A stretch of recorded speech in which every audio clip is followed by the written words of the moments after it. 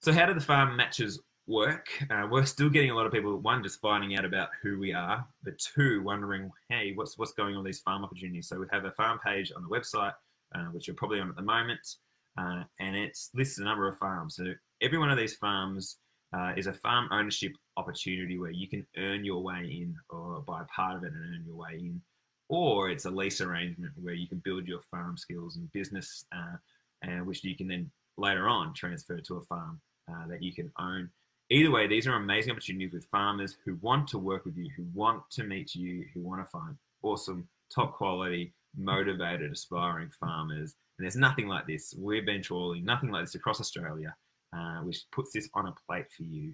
There's not much more we can do, but I wanted to explain how this works so you, uh, if you are an aspiring farmer or a retiring farmer and thinking about um, getting onto a farm or stepping back from your farm, this is the process.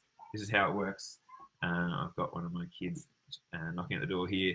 But the process is that uh, the retiring farmer, from a retiring farmer point of view, you you reach out or you talk to your family and friends and talk about what do you want to do with your farm. Do you uh, want to transition it to kids that aren't your uh, own? Sorry about all this knocking. Uh, so talk to your advisors as well. Make sure this is a financially uh, suitable arrangement for you. we don't want you to take this lightly. So if you have decided that you are thinking about handing the farm on to kids that aren't your own, um, then we ask you to review all our content online. Check us out. Are we legitimate? Check out our case studies. Uh, why are we doing this? And get comfortable with who we are and what we're trying to do. We've got so many videos, so much content. Uh, we want, but we want you to trust that what we're doing is the right thing, and we're here for both parties, aspiring and retiring farmers. Then we have an online inquiry form. You can just quickly put some details around your farm.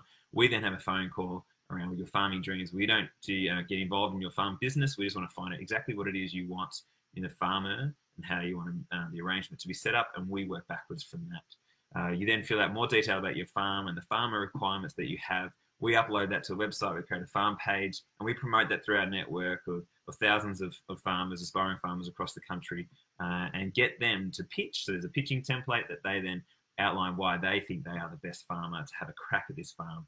We then send that back to the retiring farmers. They filter through them all uh, and pick a handful that they would like to continue to catch up with or, or talk on the phone. And then if they like them, they'll come out to the phone, uh, to the farm, have a look around, meet two or three more times, uh, and eventually you'll pick that farming family or farmer that you are uh, happy to work with because we're all about relationships. It's purely about matching people, uh, like a dating service in a way. But we know that if you haven't got the right relationships, there's no way a farm transition is going to work. So we focus purely on that.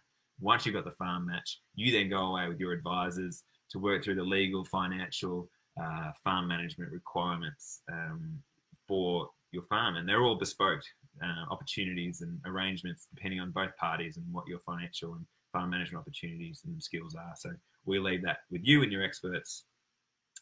So that is how this works. It's uh, we think it's brilliant. We are uh, very excited by what we are doing. And even if, uh, so we should call that also, the, if these farms that you see are for you, we still encourage you to share them. Share them with friends and family who you know might be interested in this. And if you don't know anyone, please share it anyway, because we need to get, get these farms matched.